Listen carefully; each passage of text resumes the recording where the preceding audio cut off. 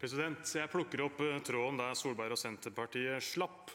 Eierne av Color Line vil flagge om til Norsk internasjonalt skipsregister, NIS. De kan erstatte 700 norske arbeidsfolk med billigere utenlandsk arbeidskraft. Og de truer med å flytte til Danmark hvis ikke de får flagget om til NIS. At disse rederne, som har fått over en milliard i fortjeneste de siste årene, vil tjene enda mer, det er så sin sak. Men hvorfor skal regjeringa hjelpe dem med å gi sparken til 700 ansatte? Det Solberg ikke svarte på i stad, er nemlig at det påskuddet regjeringa har gjemt seg bak, nå er borte. Nemlig at Color Line vil flytte til Danmark hvis ikke får flagga om til NIS. Regjeringa skriver selv i statsbudsjettet at med dagens tilskuddsordning er det lønnsomt å beholde ferjene i Norge framfor å registrere skipene i Danmark og ansette mannskap på danske vilkår. Dette betyr at Color Lines trussel om å flytte til Danmark er tomme trusler, sånn som fagforeningene har sagt hele veien.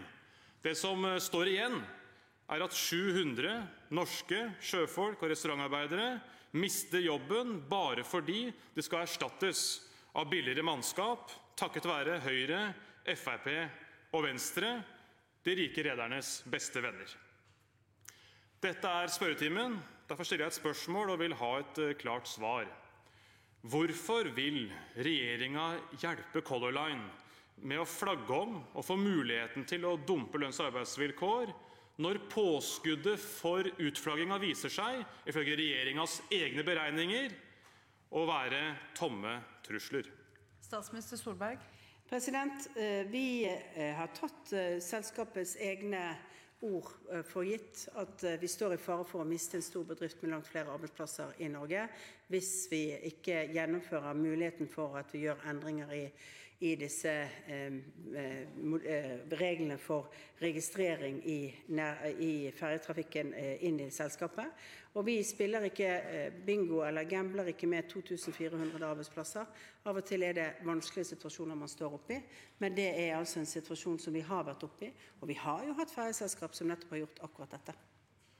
Moxnes. Det var et befriende ærlig svar fra Erna Solberg. Eh, vi fikk nå svart på hvitt at regjeringa har tatt selskapenes egne ord for gitt.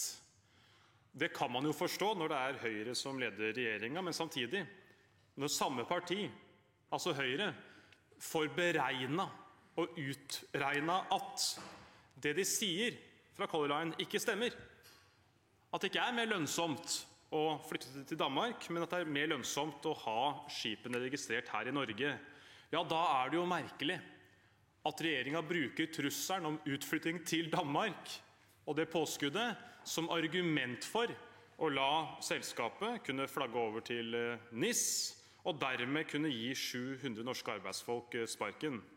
Så jeg vil spørre, Hva tror Erna Solberg mest på? Sin egen regjerings egne beregninger eller påstander fra noen rike redere i Color Line? Statsminister Solberg. Jeg tror at bedriftsledere tar langsiktige strategiske beslutninger når de gjør endringer. Eh, og Det vil bety at eh, de vil se på eh, hvor best rammevilkår er. Det tror jeg er den fornuftige biten som veldig mange bedrifter ledes under. Derfor så tror jeg at det vil være, grunnlaget for det. Jeg håper at de ikke flytter ut noen båter av Nord og over til NIS som en konsekvens av dette. Men samtidig så er det jo da risikoen for at man mister enda flere arbeidsplasser, som har ligget i bunn for eh, vårt standpunkt, og forutsigbarheten. Dette eh, vedtok vi at vi skulle gjøre i 2015-2016. Eh, det var i en situasjon hvor kanskje de økonomiske kortsiktige kalkylene så annerledes ut, men dette vil være opp til selskapene. Og så er det slik at vi går inn i en mangelsituasjon i norsk arbeidsliv i dag. Eh, med mangel på arbeidskraft. og Det betyr jo at eh, det vil være behov i norsk arbeidsliv for den typen arbeidskraft som eventuelt slutter å jobbe i Color Line, fordi det vil være andre jobber i Norge man kan gå til. Moxnes? Det er jo en interessant påstand når over 100 000 arbeidsvillige eh, står uten jobb. Det er en mager trøst for de som mister jobben i Color Line, at de kan konkurrere om jobbene med de andre 100 000 som nå står uten arbeid. Det var eh, KrF som eh, fikk pressa gjennom i revidert budsjett at man skulle se på saken på nytt og undersøke tallmaterialet grundigere. Det har nå regjeringa gjort, og konklusjonen er klar. Det er ikke mer lønnsomt for Color Line å flytte til Danmark enn å bli her eh, i Norge. Likevel så tviholder altså Erna Solberg på samme konklusjon, selv om terrenget åpenbart ikke stemmer overens med det kartet hun opererer ut ifra.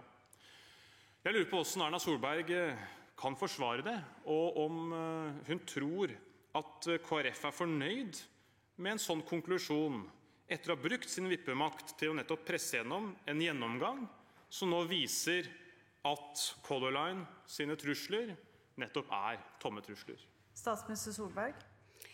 Eh, jeg kan ikke spekulere i følelseslivet til, til, KrF i forbindelse med denne saken. Eh, jeg mener altså at vi er i en arbeidsmarkedssituasjon i dag som gjør at hvis det gjøres endringer, så er det en god situasjon for at folk kan få andre jobber i land. Eh, det er en bra del av dette. Og så er det viktig å minne om at dette var i tråd med et kompromiss som flertallet fra Fartsområdeutvalget anbefalte. Vi varslet, om dette i den maritime strategien i 2015. 2015. Det er blitt vedtatt gjentatte ganger i Stortinget, men pga. ESA-godkjennelse av reglene har det tatt lengre tid. Det er også forutsigbarhet som må være viktig å ha overfor eh, ledere. Vi bruker altså nå betydelige mengder penger på å sikre sysselsettingen for sjøfolk. 2 milliarder kroner. Vi har lovfestet ordningen med nettolønn. Vi gjør mye for å, sikre at vi skal ha norske sjøfolk fremover. Men noen justeringer også for å sikre arbeidsplasser på land kan det være nødvendig å gjøre.